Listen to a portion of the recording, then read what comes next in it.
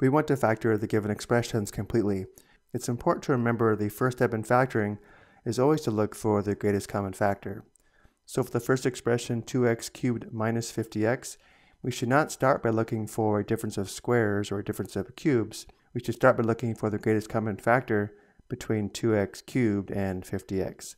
And the greatest common factor between the two terms is 2x. So if it's helpful, we can write each term as a product involving 2x. We can write 2x cubed as 2x times x squared minus, we can write 50x as 2x times 25.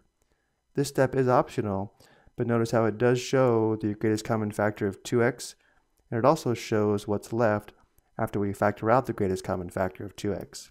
So factoring out 2x, we can see we're left with x squared minus 25. From here, we should recognize the expression will factor further because x squared minus 25 is a difference of squares.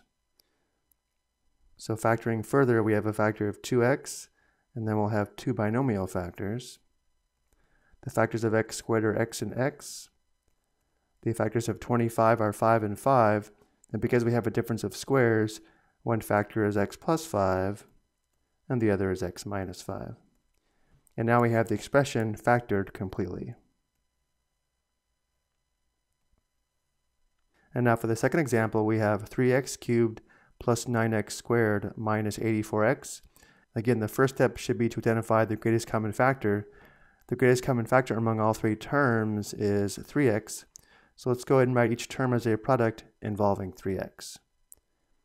3x cubed is equal to 3x times x squared plus 9x squared is equal to 3x times 3x minus 84x is equal to 3x times 28.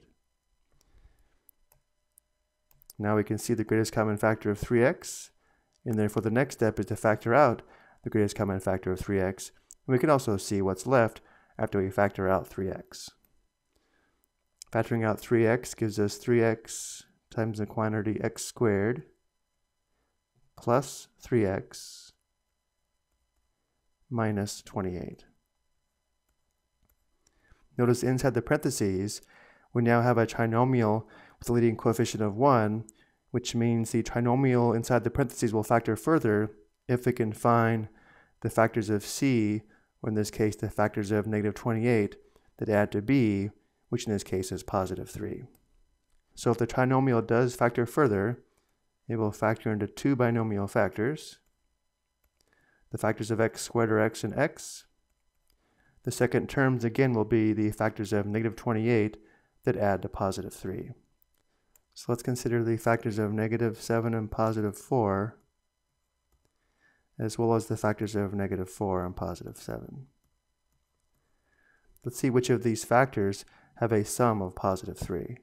Well, negative 7 plus 4 is equal to negative 3.